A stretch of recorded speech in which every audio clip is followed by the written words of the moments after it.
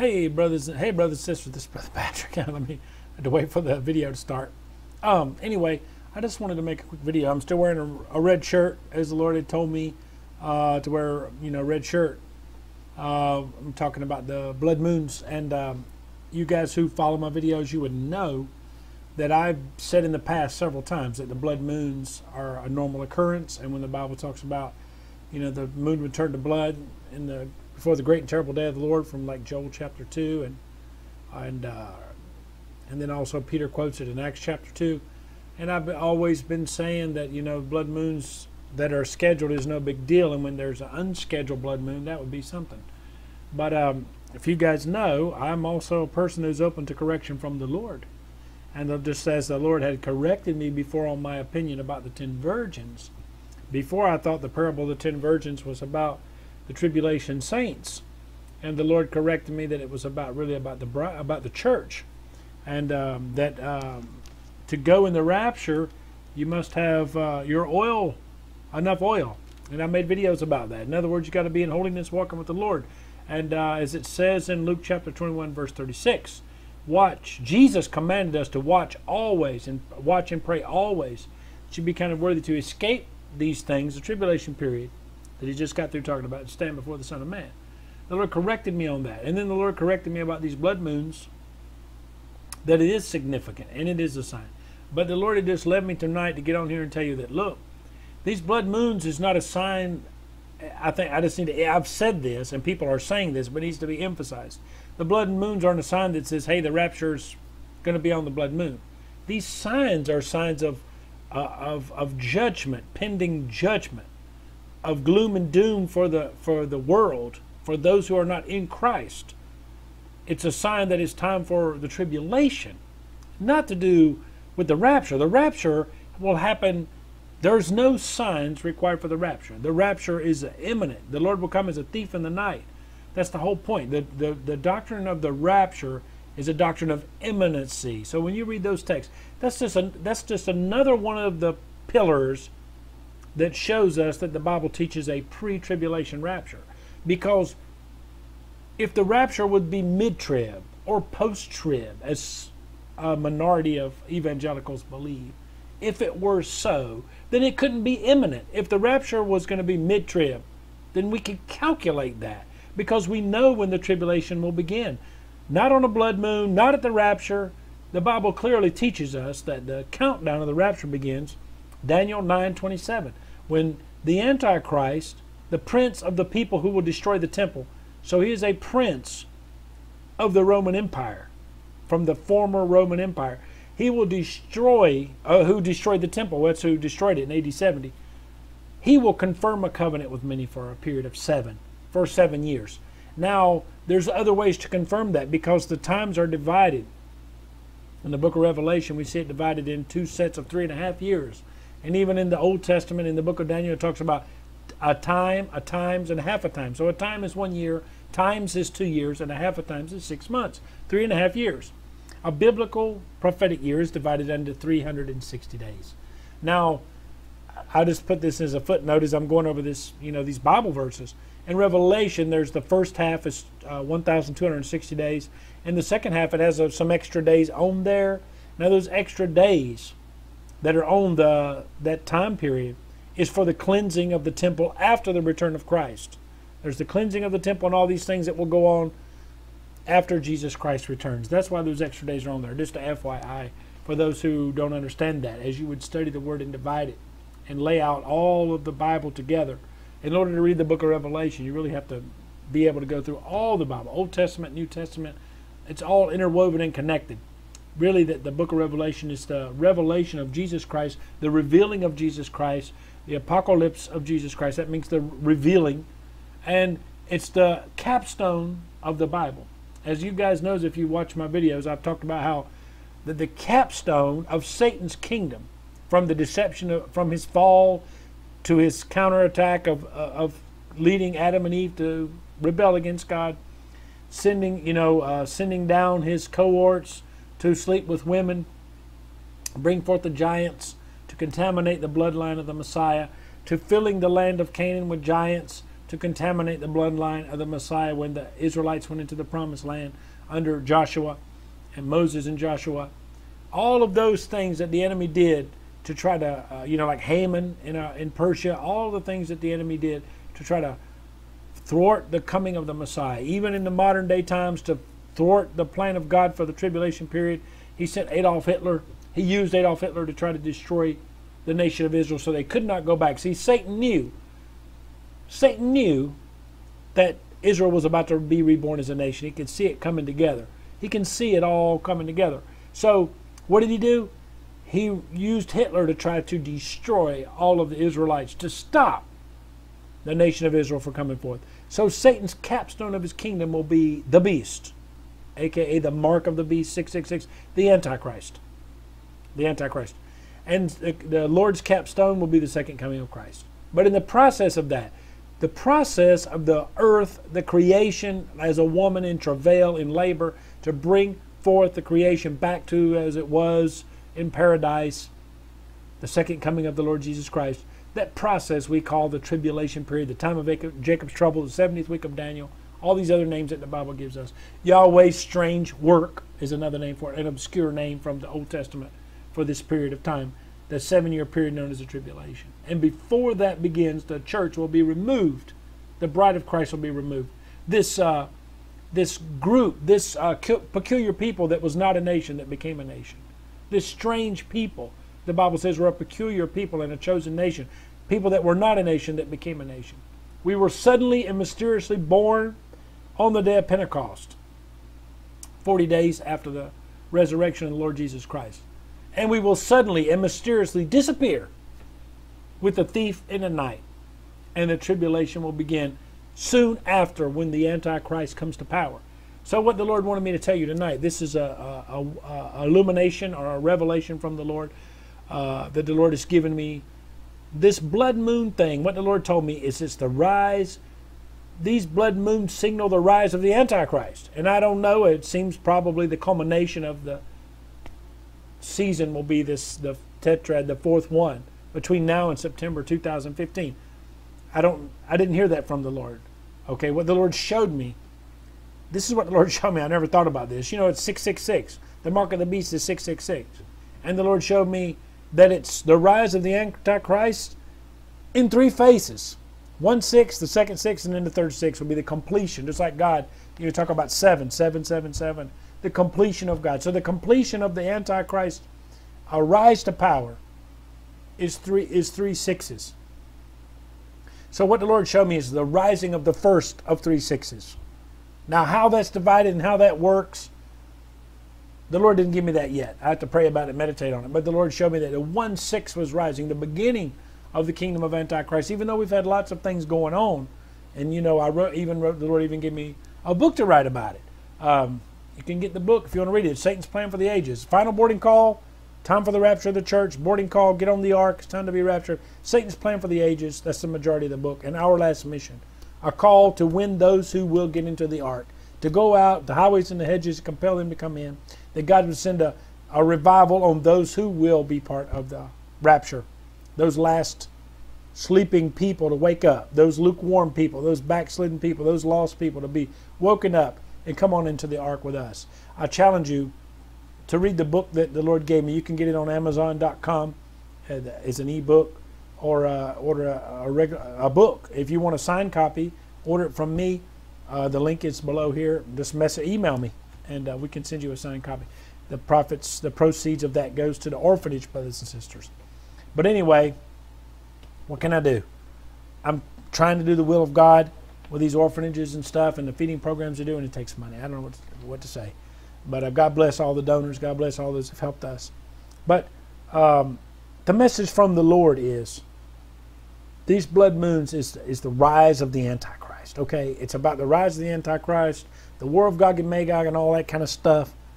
And the rapture of the church is not really part of that. The rapture of the church will happen in the process of that before the seven year covenant is made. We'll be out of here, brothers and sisters. Those of us who are in Christ. Some of you watching this video, you're not going to be going in the rapture. Why? Because you're you don't have oil in your lamp. If you don't know what that means, go study what it means. Go pray what it means. We're supposed to be alert. We're supposed to be ready.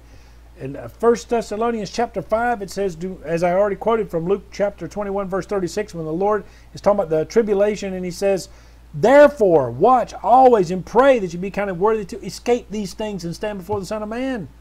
Luke 21, 36. Uh, but if First Thessalonians chapter 4 is one of the, the best scriptures about the rapture. Uh, starting there in verse 16, it says, uh, you know, the Lord himself shall, we will not sleep, we'll all not sleep. Uh, um, that's First Corinthians chapter 15, 50 and 51, 52 is also about being changed in a moment, twinkling of an eye. In First Corinthians, uh, First Thessalonians chapter 14, it says, For the Lord himself shall descend from heaven with a shout, with the voice of the archangel and the trump of God and the dead in Christ shall rise first, and those of us who are alive and remain shall be caught up with them to meet the Lord in the air. Now that word caught up is the word in Latin is repura, repure means to be raptured. That's where that comes from. You know, some uh, young brother just messaged me and said he discovered that it's from the Latin Vulgate. He asked me if I knew it. Yeah, yes, I know it. It's one of the most important things uh, that uh, uh an evangelical, you know, Pentecostal preacher can know uh, the rapture is one of the most important doc doctrines after salvation for us to know because it's an imminency. It's a doctrine of imminency. The Lord will come as a thief in the night, and the Lord said if the owner of the house would know what when the hour the thief would come, he would you know he would try to stop him. You know the devil is the owner of the house. He's the god of this world. Jesus tells us. Jesus says himself that he's the god of this age, and Paul tells us he's also the god of this world. He's a prince and power of the air. So Jesus is the one who comes like a thief in the night steals his bride. And then when the revela- when Revelation begins, there in Revelation chapter 4, when the tribulation is about to begin, it talks about the seals. And those seals are on the title deed to the earth that the Lord has ordered. So the Lord is taking back the creation. Okay, from the time of Adam and Eve until that time, until the Bible in Revelation tells us, Behold, the kingdoms of man have to become the kingdoms of our God and his Christ. Until that happens, from the time of Adam and Eve, the title deed to the world has really been in the hand of Satan because Adam gave it and lost it when he disobeyed God. Now, Jesus has given us a kingdom that's a spiritual kingdom right now. From the time that the Lord Jesus Christ was on this earth until now for the church, the age of the church, it's invisible. We are the church universal, invisible. It's not a manifestation of something like you see in Rome but the universal church, the, what they call the Catholic Church means the universal church. It is the church invisible. And then we see it manifested when two or more are gathered in his name. The Lord is in the midst of us. That's the manifestation of the universal church. Invisible. It's a spiritual church. Jesus says, My kingdom is not of this world. It is within you. The kingdom of heaven is within you. But that's going to change, brothers and sisters. Now, after we get raptured, well, of course, we'll be in heaven. But when the Lord Jesus Christ returns at the end of the seven year tribulation to rule and reign on earth, then the kingdom will no longer be in us, but it'll be with us. The Lord will rule and reign. It'll be like in the Garden of Eden. That's the difference. It will no longer be a spiritual kingdom, but a manifested kingdom. That's why all this kingdom theology people that you talk about, it's another movement in the Pentecostal movement. That is not true.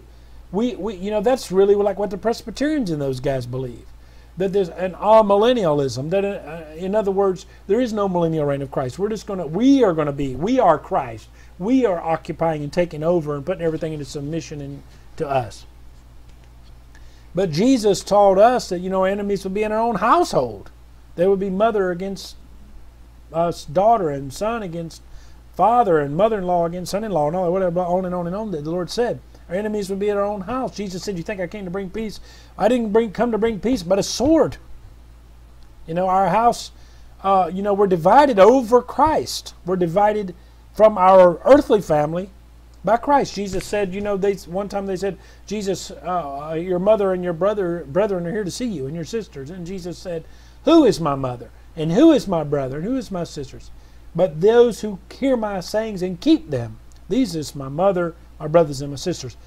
That, by the way, that's a good one you can use when you're dealing with uh, Roman Catholics who are really into Mary, uh, the Marian theology. You can give them those Bible verses. There's another time when I uh, just I'm on this topic, unrelated to the point at hand, but uh, another time there's a woman that came to him in a King James. It's easy to remember because she says, uh, "Blessed are the paps that you sucked." Okay, King James paps is for breast you know, blessed are the, you know, the paps that you sucked and all this. And Jesus said, yea, rather are blessed are those who hear my word and keep them.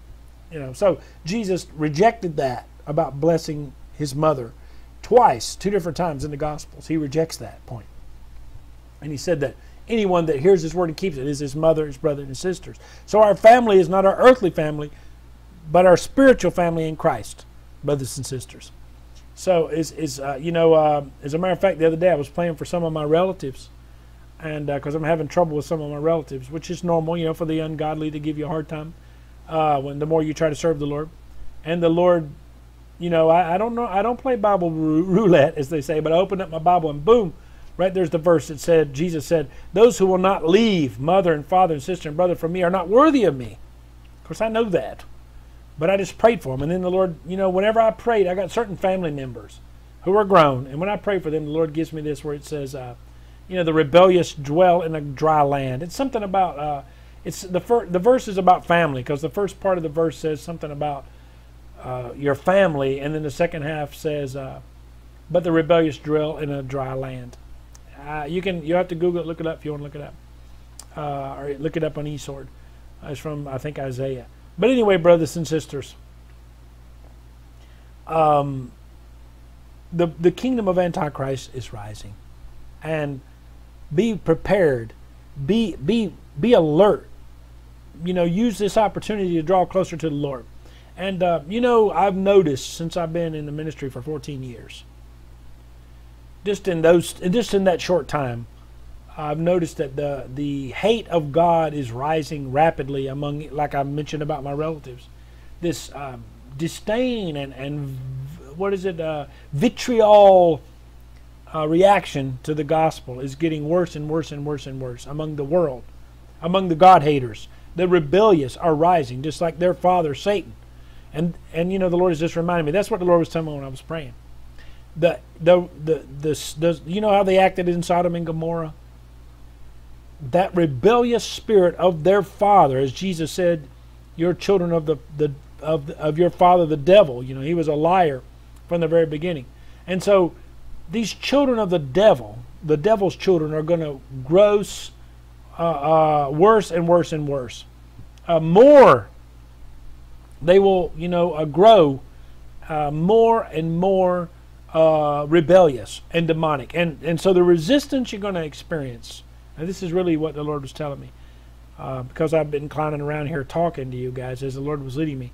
The kingdom of Antichrist is rising, and that spirit of Antichrist is going to rise and rise and rise. And that's what the blood moon signals for us as a church. Not even because I already talked about about what for Israel and possibly the war of Gog and Magog and all that stuff. And no, there is no war in Psalm 83.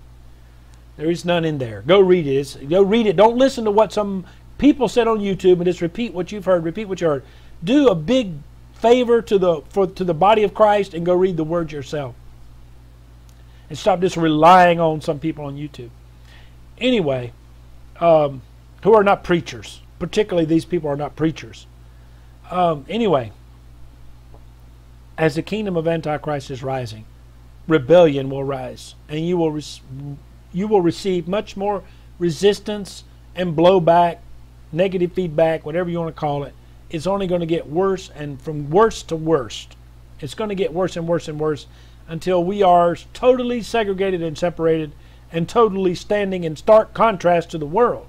So it's happening, it's been happening, it's going to be worse and worse and worse to the day we're taken out of here. Now, my personal opinion, you know, I hope that this, it seems that this blood moon cycle that ends in September 2015 somewhere in that cycle will be the kickoff of the tribulation period. Probably, hopefully, I would say hopefully. Of course, the Lord wishes none to perish. You know what I'm saying? I'm saying that because I want the rapture will be before that. No, I don't want to see people, uh, you know, taking the mark and all that. Of course not. Of course not. This is the Lord's business. I want to see the Lord return. We're supposed to cry Maranatha, let the Lord return.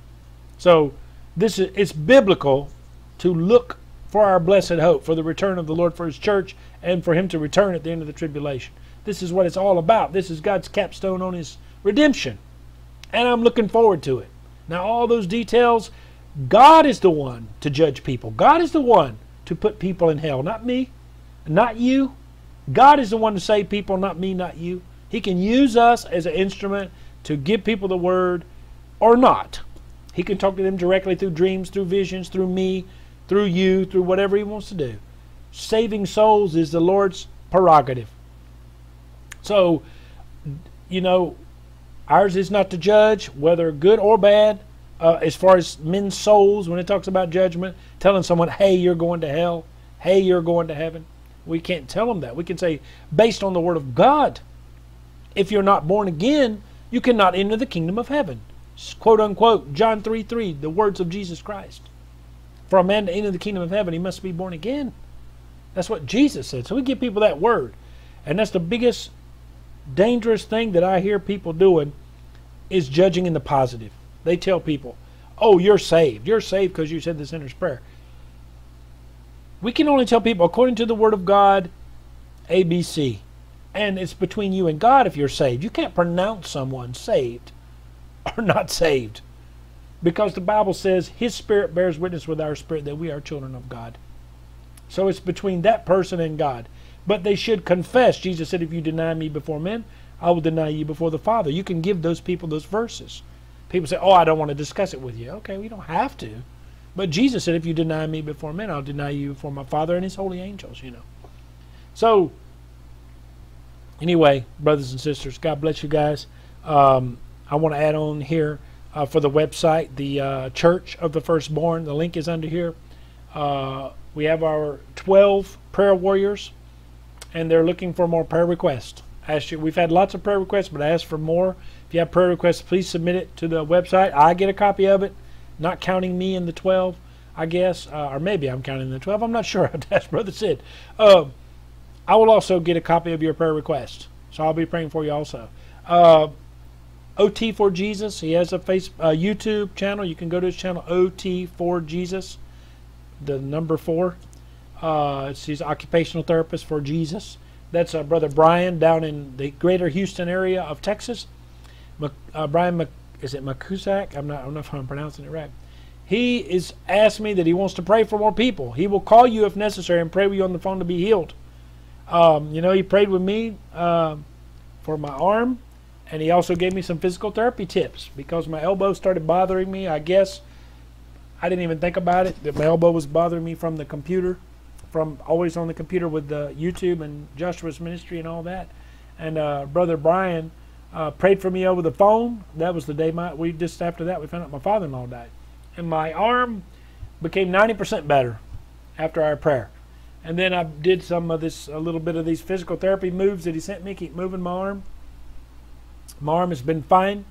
Um, I've been able to do my, uh, I do some push-ups and all this kind of stuff, a little bit of weightlifting twice a week. I've been able to do that, and my arm is healed. I've just been, uh, you know, every day I'll do those, uh, run through those, uh, a couple of different of these physical therapy moves just to maintain, you know, because uh, I want to say this too. Just this isn't totally off topic, but about healing.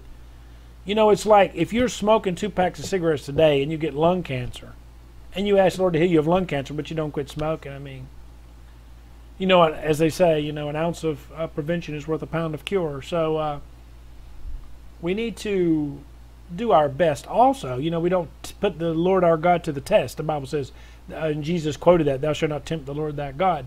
So, um, you know, we should do our part also to eat right. If we know we have high blood pressure, as an example, you should begin exercising.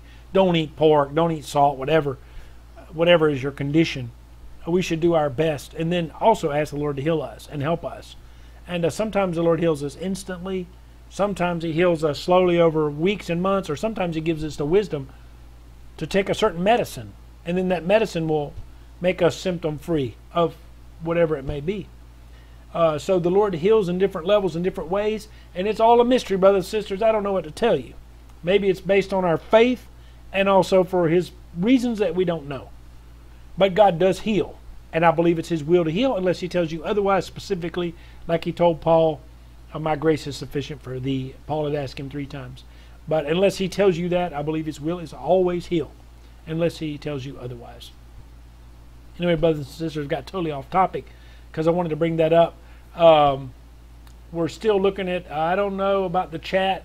Uh, Brother Sid and I, Brother Sidney, who does the website, uh, the Church of the Firstborn, we talked about doing a chat, a live chat with me on there.